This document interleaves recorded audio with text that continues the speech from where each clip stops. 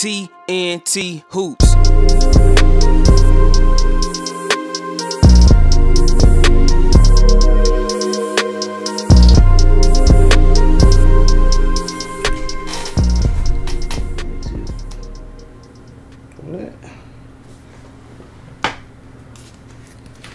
Oh, shit, no. What's going on, ladies and gentlemen, YouTube watchers and Memphis? Um, another special interview. Uh, got a special guest in the building, very familiar with him myself. We got my guy Allen, aka some of you guys know him as A1. Yeah. And uh, before we get into this interview, I would like to say um, this guy, he's been training in my gym, and uh, I just love the atmosphere that he's been producing. He actually motivated me to get back up and started back working with the kids more on a more personal avenue other than just recording. Yeah. So, um, very positive guy. So, just kind of tell the people a little bit of your background history, Yeah. uh, your love for the game, and how you got started. So, um, Memphis native. Um, I grew up. I grew up playing at Overton High School. I did well. I played at Wooddale High School, 9th and 10th grade. Then I went transferred over to Overton. Um, me and my boy, Ser- you know Sergio. Yeah. Sergio Carouge, man. Uh, we was like two of the leading scorers at Overton, and um, man, I love the game, bro. Love the game. What Went year to was that? that was 2007. Yeah, 2007. That's when we graduated. Okay. Yeah, so we graduated 2007. Uh, we was inducted into the um, to the Memphis Top 20 uh, game. We actually played in that game before the USA versus the World game when they had it here in Memphis. Uh, Kevin Love, I think Kevin Love and Derrick Rose and some more guys was in that joint. But we played in the game before that, so it was like top t- top 20 in Memphis. Uh, I know you're familiar with AJ AJ Thomas. Okay. Uh, Mo Miller was in it. Um, Randy Culpepper, like a whole bunch of good names, man. And um, and yeah, so that's the background on basketball. I went to Bethel University. It's in McKenzie, Tennessee. Um, played there my last two years of college. Uh, graduated from there, and I averaged like 15, 16 points a game. Um, and then, man, I tried to, you know, get myself together so I can go overseas. I was working out heavy, uh, working out with Scotty Mason, working out with Tony Harris uh, back in the day. And, man, um, after that, it was like, it was a turning point in my life that kind of like shut basketball down for a minute. And um, it was when I had lost my best friend, Sylvester Silk. We was like teammates at Bethel University man, he passed away playing basketball, like cardiac arrest, just Mm. passed out. And um, from that point forward, it was like, cause we was like best friends since man first second grade, so um, became roommates. And then after that, it was like, bro.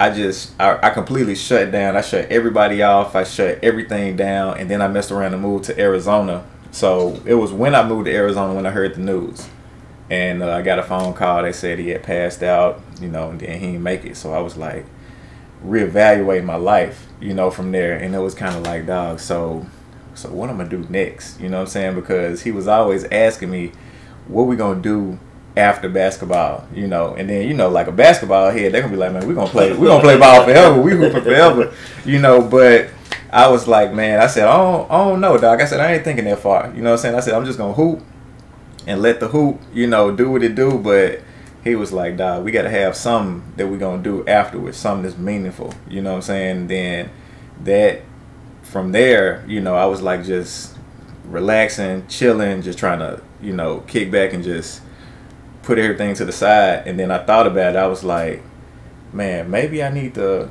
start training people. You know what I'm saying? Start Yeah. training kids instead of, you know, being so selfish and, you know, trying to get it for myself. You know, like no shade to anybody out there that's hooping, you know what I'm saying? And y'all y'all trying to get overseas, do what you got to do. You know what I'm saying? But it was just a life turning point for me, you know, and that just that changed everything around and then, you know, that messed around and birthed A1 Hoops Elite. So, Okay. Yeah. Uh, well, let me ask you uh, another question. Uh, kind of, I mean, it may have just been your style. Um, Mhm. before that happened to your best friend. I hate to hear that. Yeah. Um, I know your training is kind of like um, it's a different type of atmosphere hmm than to the trainings that we do see. I'm not Yeah. saying it's uh it's not ch- a churchy vibe, but you're kind of like it's kind of like not explicit, no cussing or nothing Oh, around the yeah. kids. So I mean, it's just Yeah. a different atmosphere, but it's very effective because you're not Mhm. no you know not like a guy that's just trying to help kids in the church, but you are really a hooper. But Yeah. you're raising them in a different way in the atmosphere. So where that come from? Man, so that came from so I I was raised I was raised in the church. My dad's uh he's a preacher, so I'm a PK, pastor's kid, and um, it's always like a bad rap about pastors' kids and all that. They always say they bad and all that stuff, but I mean I I strayed off a little bit, you know what I'm saying, but I'm back on the straight and narrow, and it's just you know the relationship that I got with God, you know. I want to do everything to please him. You know what I'm saying? So if that means I got to speak to the kids in a certain way that pleases him, then that's what I'm going to do. You know, so ever since then, every time that I get out on the court, I mean, my niece comes out and work out with me. You know what I'm mm-hmm. saying? So I'm not going to talk to my niece crazy. So I'm not going to talk to no other kid crazy. You know what I'm saying? I don't care if it's an adult. I don't care if it's a pro to come work out with me. I don't care if it's college all the way down to elementary. I'm not you know that's that's just my style. You know everybody got their certain style. That's that's my niche. You know what i'm saying? I just make sure that i encourage make sure that i you know push them i mean i know how to i know how to talk to them to get them to do what they need to do. You know what i'm saying? Pull the dog out of them but it don't involve anything explicit. You know what i'm saying? So i mean that's the atmosphere that i set. The parents like it. Um the guys that's in college, you know I'm saying, to come and train with me, they like it. You know, I got a couple guys that want to go pro. You know, I don't got to curse at them. You know, I just tell them, look, you ain't gonna make no money. You know what I'm saying? If you ain't out here putting it in, you know, so you gotta you gotta put the work in. So I mean, I tell them like that, and they get it. You know. Have you ever um bump heads? Cause I mean, you know, sometimes you ever had parents that come in and they be they automatically tell you, "Hey, get on his tail." You know what I'm saying? I know he's had that, so like- and, and if you don't, in a sense, they kind of you know how parents would be Right. like, step in if they child not doing something right. yeah. So, uh, how how have you dealt with those situations? Do you kind of give them a heads up of what what you deliver before Um, they they pay for it or get into the program? Well, I mean, they can they can see, you know what I'm saying? Cuz like my fruit, you're going to see the fruit. You know what I'm saying? Like it's a it's a lot of different scriptures in the Bible that talk about your fruit and, you know, being presentable and all of that stuff and they see the fruit of A1 hoops. Like it's not I ain't I ain't out here, you know, all up in your kid face or nothing like that. I may pull them to the side and be like, "Look, all right, we got to get it together." You know, like you want to get playing time. If you want to get off the bench, stop riding the bench so much. Like, look, you're gonna have to, you're gonna have to get with it. You know, and then I tell the parents that I'm like, look, y'all kids in good hands. You know, I don't gotta, I don't gotta talk to them the way that y'all do, but it's always, I think kids for some reason they always hear something better from somebody else other than their parents. You know, Yeah. and it's like plenty of times where the parents are like, "Yo, I tried to tell him that," you know what I'm saying, but he wasn't listening. Yeah. And I'm like, it's it's just always like that. I mean, I was like that as a kid. You know, with my trainers, my dad would tell me, "Look, you need to get up a thousand jump shots every day. You know, like you got to work on your shot. You got to be consistent." And I was like, "Yeah, all right, all right." But when my trainer told me, it was like it was gold. You know what I'm saying? Like, yeah, Yeah. yeah, pops, man. He told me I need to get up a thousand jump shots, and my dad was like, "Bro, I've been telling you that." you know what I'm saying? The past three, four years. You know, but I mean, it's just the way that you communicate with them. You know, I, I just try to I try to put everything out on the table, you know, and let the parents know like this is how I run my stuff. You know, I mean, if you want to chime in and tell your kid you need they need to pick it up or something like that, that's fine. You know, but I don't want no kid, no parent out there, you know, standing beside me trying to run my Yeah. practice and all that. Like I ain't I ain't letting that happen. But yeah, Okay. Um, and I guess a, a, a thing you didn't bring up, and and people always tell well a couple of people that know. Uh, that you be in my gym and they be Uh-huh. like, hey, that's that's your boy, that's your boy. I seen him on TV. So, so Yeah. how, how did that happen with you working with uh, the Grizzlies? Was it the Grizzlies Center or the? the it's the uh, Memphis Grizzlies youth basketball program. So that all happened because it ties back in with right after I lost my best friend. It was like um, I was just I was basically looking for different jobs and different you know things where I can implement my skills and implement my craft with uh, basketball. So I was looking around in Phoenix and I was trying to find some stuff and like it was at the time when me and my wife um, when we got married we moved we had moved out to Arizona. We was out there for like three or four years and then we was thinking to come back because we was like when we had kids, you know, we want to make sure our kids are close to home with our parents and all of that. So I was like, all right, let me look for some different jobs and I was looking at uh the Memphis Grizzlies youth basketball. They got a program and they needed some coaches. And I was like, all right, cool. So I'm gonna do that. And I had just applied. Well, I ain't really applied. I emailed the coordinator, Okay. and uh, he was like, man, we've been looking for you know some some guys that have, that have played college basketball that got you know the expertise of you know all of the skills that we need to have set for the kids. So I emailed him and he just told me to come in for an interview and went in for an interview. Next thing you know, I was on with them, you know, and I've been I've been rocking with them ever since. I mean, it's like a part it's a part time thing, kind of like seasonal part time, Mm-hmm. and uh, I mean it works for me. You know, we do a lot of clinics and we do a lot of camps, but we haven't been doing that because of COVID. So everything been kind of shut down. We probably do like a camp here or a clinic there, um, small setting, but that helped me out. You know, being under being under his tutelage and him, you know, coaching me, he was like, "Look, this is gonna help out A1 Hoops because he knew about A1 Hoops. You know, he was Okay. like, this gonna help out A1 Hoops. This gonna help push your brand and help grow your brand. You know, he said, just take everything, everything that I tell you, everything that you see, everything that you don't see that you want to implement, do that. You know, so he's all for my program. You know what I'm saying? And like I'm still partnered with them, so it's working good. Okay. Yeah. Um. Well, before I get into a business question, let's Mhm. um. You know, everybody has a transition. Either you go from coach to training, or you Mhm. go from training to coaching. Right. So, what what are your aspects? I mean, I'm pretty sure if you're doing pretty good with the kids, you done had people that you train their kids ask you why don't you coach. Man. Is that uh is that something you willing to step into or you stray away from? Um, I feel like um, ever since ever since the incident, you know, I I knew that I was supposed to be helping out kids. I knew that I was supposed to be mentoring kids. I just didn't know in at what capacity, you know. So um, so right when right when I finally got it in my head, I was like, okay, how can I reach the kids? You know, still have one-on-one relationships with them. You know, still build them up, still encourage them, and all of that. And I was like, that's through basketball. So let me do basketball training. You know, so I started doing basketball training when I was in Phoenix. Mhm. Um, I did a little stint of coaching. I, I coached at the Boys and Girls Club in in uh, Phoenix, Arizona, and it was pretty cool. I mean, I was coaching some like five and six year olds. They was just running wild, and I was like, okay, I don't think I want to coach this age. I was like, I'm gonna let that be for somebody else. And then I got the opportunity to coach. Um, coach at Desert Shadows. It's in Scottsdale, like a super rich area out in uh, Arizona. I coached seven graders, and we went undefeated.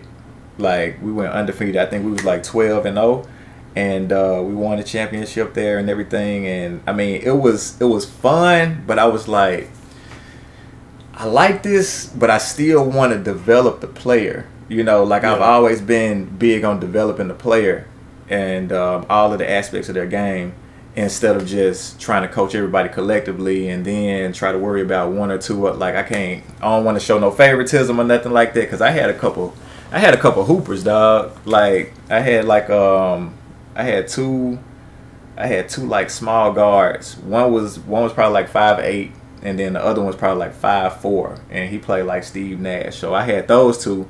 Trying not to show them too much that much favoritism, but in practice I was like pulling them to the side, like, look, you need to be able to do this, blah blah blah. you know, so I was like, okay, this is the this is the line of work I need to be doing. I need to be doing basketball training. Moved back to Memphis, and I also picked up a job with Wooddale Middle Okay. um, I was coaching them for one season. Um, man, I think I think we had got to we got to the state. No, we got to the we got to the district finals. It was the first time in I think 15, 10 to 15 years that they got to the district finals. Okay. So once I coached them, I mean, got them to the district finals. We lost to um, man, I can't think of the school. I think we communicated when you coached in that middle school year. Yeah, it was a it was a middle school team out in Southwind area. I can't think of who they is. Um, but we lost against them, and uh, ever since then, I was like, all right, should I go back? Should I go back and coach another year, or should I just focus on you know basketball training? Because when I didn't focus on basketball training, I was focused on the kids. It was like my training was like going Slacking. down and it was slacking. Yeah, I because I had to be there at practice with them guys. I had to be there for the games and all of that. And I was like, man, I'm just I'm just gonna take a break from coaching, you know. And then right after that, you know, I had uh, my wife gave birth to our first son, and um, I was like, I'm just gonna I'm just gonna do the basketball training, you know, because I'm able to be at home with her a lot. Yeah. And then it was just it was working out for me, you know, working out for my family. So, you know, I train in the evening time and I'm there with my son throughout the day. So, you know, that was working, and I was like, I'm just gonna stick with that. Okay. hmm So, uh, did uh, having? I mean, I know you was, you still say it was a calling of you connecting with those kids. With you having your, well, this your first son, right? Yeah. So, with you having your first son, did that uh motivate you to maybe like get a lot better with your craft, or you know, or did he pull you in and make you want to stay at the house more? man he it, it made me um it made me want to keep going a little bit harder. It was like i felt like it was another level that i can make it to. Um of course i was doing it. I was training guys and training young ladies as well um just to get them better. But now it's like okay how can i not only get them better but you know get them mentioned in Memphis. You know, like I want I want the cuz I like to train underdogs, you know. Mhm. I like to train I like to train the ones that's been looked over, you know. I, I mean, no shade to anybody that's a star in Memphis, like do your thing, but I like the underdogs, you know, because they got something to prove, they got a chip on their shoulder. So, I think that me wanting to train them and make them so much better makes me go harder in the program and in turn it goes full circle because when I'm going hard in my program, I'm going harder for my son. okay. You know, I'm going hard for my wife and um and the more that the more that my program grows, you know, like that's that's that's gonna be all love because as soon as my son get old enough, he gonna jump in the program. Yeah. You know, and he gonna be getting trained and you know, it's gonna be smooth sailing from there. So, uh, with plans on getting the program bigger, and I think a lot of times with, especially when you're dealing with stuff like training, it's kind of more complicated than like other businesses. Uh, sooner or later, you're gonna need some help. of course. Yeah. Um, have you been looking for help, or have you been prepping, prepping somebody to get ready, or you just gonna, whenever it's time, you're gonna just try it? I think um, I actually I got a couple guys in mind um, that I used to hoop with. You know, from from time to time, they had their hooping career. I had mine, and we still close friends. Um, when the time comes, you know, as it continues to grow, because it get it get a little it get a little tough, you know, running from one end. I got some small kids down here, and then I go to the other end. I got my big kids Yeah. you know, it get a little hectic because I'm going back and forth, and I want to be intentional about, you know, who I'm training that day.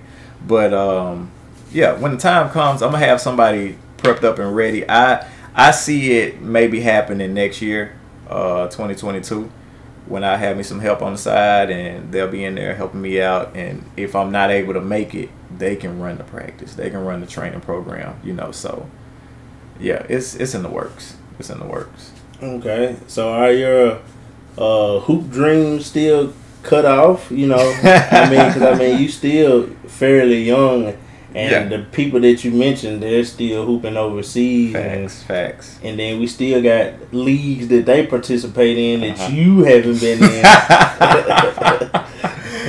yeah, I mean, uh, I was I was talking to I was talking to my mentee about it. Uh, my mentee Donovan and um, and one of my good friends Justin that I train. Um, they was like, man, we gotta get we gotta get you in the league, dog, because you be out here playing. Cause I I play occasionally. I get out there and do like some one on one with them, or if we play three on three, I get out there and jump in with them.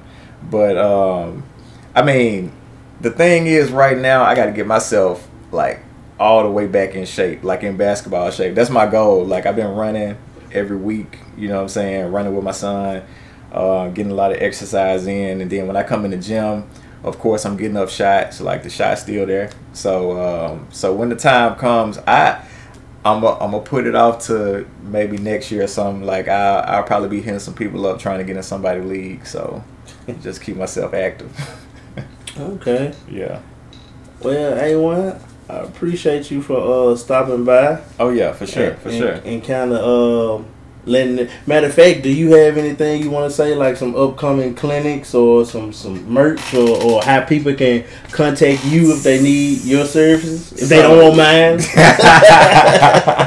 so uh so man y'all can y'all can contact me i'm on i'm on instagram and facebook at a1 hoops elite um i also i just dropped some merch it's out for pre-order right now so um so i'll probably give you the link so you can put it in the uh youtube in the youtube description or whatever Yeah. i got some nice merch that's coming out uh i got some basketball clinics that are coming up i got one next saturday on August the 21st is for ages 5 to 10. And then next month, I'm going to do two more clinics. I'm going to do 5 to 10. And then I think I'm going to go ahead and boost it up and do 11 to like 14. Um, so I'm going to do two clinics next month too. Okay. So yeah. do you have a do you have a website? So the website is, uh, I think it's A1 Hoops Elite dot. It's some. I'm gonna Yeah, have to. I'll send it to you. I'm gonna send it to you. You can put it in the description, but uh, but yeah, it's it's something like that. But I got the shirts on there, and I got a lot of information on training programs and all of that stuff too. So yeah. Okay, and then also I have a website too, which is tnthoopsbasketball.com. Y'all go visit that, man.